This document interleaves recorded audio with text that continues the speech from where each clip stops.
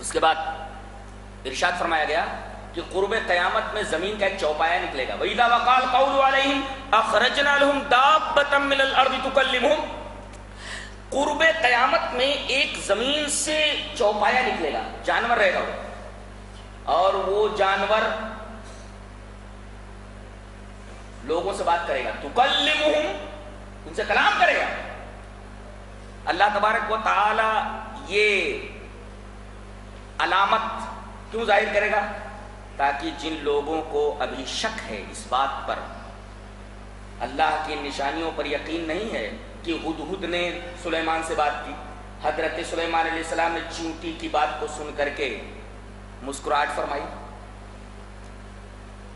جن لوگوں کو ان تمام چیزوں پر یقین نہیں ہے، ان کو یقین آ جائے کہ چوپایا بولتا ہے، کلام کرتا ہے، تو یہ چوپایا نکلے گا۔ کب نکلے گا؟ آپ کو معلوم ہے کہ آفتاب ابھی مشرق سے نکل رہا ہے۔ قیامت نازل جب ہوگی تو سب سے بڑی علامت یہ ہوگی کہ اس دن سورج مشرق سے نہیں بلکہ مغرب سے نکلے گا۔ تو صبح میں سورج کہاں سے نکلے گا؟ لوگ انتظار کریں گے کہ مشرق سے نکلے، سورج مشرق سے نہ نکل کر کے مغرب سے نکلے گا۔ تو صبح سورج مشرق سے مغرب سے نکلا اور چاشت کے ٹائم یہ نکلے گا۔ کون؟ دابت الارض زمین کا یہ جانور۔ صبح جو سورج نکلے گا وہ مغرب سے نکلے گا۔ اور چاشت کے ٹائم تھوڑا سا حرارت کا ماحول بن جائے گا۔ چاشت کے وقت دابت الارض نکلے گا۔ یہ چوپایا۔ سورج کے مغرب سے نکلنے کے تھوڑی دیر بعد۔ جب سورج میں تھوڑی گرمی آ جائے گی تب نکلے گا چاشت کے وقت میں۔ اور اس کے ہاتھ میں ایک انگوٹھی ہوگی، پوری دنیا میں پھر لے گا اور سب کے ناک کے پاس مہر لگا دے گا۔ اور ترمیدی شریف کی یہ روایت ہے کہ لوگ ایک دسترخوان پر بیٹھے رہیں گے اور ہر ایک ایک دوسرے کو دیکھ کر کے کہے گا، یار تو مومن ہے۔ وہ کہے گا، تو تو کافر ہے۔ ایک ہی دسترخوان کے اوپر لوگ ایک دوسرے کو مومن اور کافر کہہ دیں گے اس لیے کہ کافر اور مومن یہ لکھ اٹھے گا ان کی ناک کے پاس۔ ایک دسترخوان کے اوپر لوگ ایک دوسرے کو مومن اور کافر سمجھ لیں گے۔ یہ سب کے اوپر اسی انگوٹھی سے نشان لگاتا جائے گا۔ اور بہت ہی تیز رفتار ہوگا۔ ایک سمجھ میں نہ آنے والی بات ہے، قرب قیامت میں یہ سب ہو جائے گا۔ اور رفتہ رفتہ سائنس اور ٹیکنالوجی اتنی ترقی کر رہی ہے، آج ہر بات پر یقین کرنا آسان ہو گیا ہے۔ قرآن حکیم جو باتیں کہہ رہا ہے، سائنس اس بات کو بالکل سمجھنا آسان بنا دے رہی ہے اور ممکن بنا دے رہی ہے۔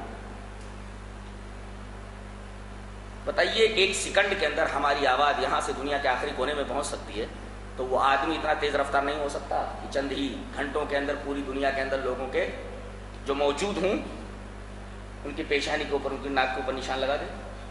تو یہ ہے دابت الارض۔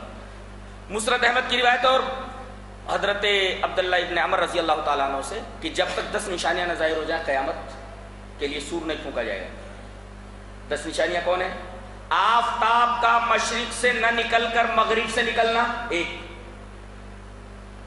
دوسرے دھواں دخان تیسرے دابت الارض۔ یہ زمین کا چوپایا چوتھے خروج یاجوج ماجوج۔ یاجوج ماجوج کا نکلنا۔ پانچویں خروج دجال۔ دجال کا نکلنا۔ پانچویں چھٹے حضرت عیسیٰ علیہ السلام کا نازل۔ اور تین جگہ خس تین جگہ زمین خس جائے دنیا میں۔ نو۔ اور اس کے بعد عدن سے ایک آگ نکلے گی جو لوگوں کو ہکال کر کے میدان معاشرے میں جمع کر دے گی۔ یہ دس نشانیاں جب تک ظاہر نہ ہو جائیں، تب تک سور نہیں پھونکا جائے گا۔ یہ مسرت احمد کی روایت ہے اور اسی مفہوم کی ایک روایت مسلم شریف میں بھی موجود ہے۔ ان دس نشانیوں میں سے ایک نشانی دابت الارض ہے، زمین کا چوپایا، جو زمین سے نکلے گا اور لوگوں سے بات کرے گا۔ اس کے بعد یہ جان لیں کہ دجال جب آئے گا تو اس کو مارنے کے لیے حضرت عیسیٰ علیہ السلام کو بھیجا جائے گا۔ حضرت عیسیٰ علیہ السلام دجال کو قتل کرنے کے لیے آئیں گے۔ اور دجال زمین کے اوپر چالیس رہے گا۔ بعد مفسرین نے کہا کہ چالیس دن رہے گا، کہ چالیس ماہ رہے گا۔ صحیح ہے کہ چالیس دن رہے گا۔ اور چالیس دن کے اندر وہ دنیا میں بڑے دجل و فریب کرے گا اور حضرت عیسیٰ علیہ السلام اس کو قتل کریں گے۔ جس دن یہ آئے گا، وہ دن ایک سال کے برابر ہوگا۔ جس دن یہ آئے گا، وہ دن ایک سال کے برابر ہوگا۔ اور دوسرا دن ایک مہینے کے برابر، اور تیسرا دن ایک ہفتے کے برابر۔ بقیہ دن نارمل ہوں گے جس دن یہ آئے گا، وہ دن سال بھر کے برابر، دوسرا دن ایک ماہ کے برابر، تیسرا دن ایک ہفتے کے برابر، اور بقیہ دن ویسے ہی نارمل ہوں گے یہ دجال کے بارے میں ایک ہلکا سا تبصرہ تھا جو میں نے آپ کے سامنے پیش کیا۔ اس کے بعد اللہ تبارک تعالیٰ نے اشاد فرمایا کہ جب سور پھونکا جائے گا، وَيَوْمَ فِي السُّورِ فَصَعِقَ مَنْ فِي السَّمَاوَاتِ وَالْأَرْضِ۔ تین قسم کے سور ہوں گے۔ ایک نفخہ سعیق اور ایک نفخہ فضا اور ایک نفخہ موت۔ پہلا جب سور پھونکا جائے گا پہلا نفخہ تو لوگ گھبرا جائیں گے۔ یہ گھبراہٹ کا سور ہوگا۔ دوسرا سور پھونکا جائے گا، سارے کے سارے جاندار مر جائیں گے۔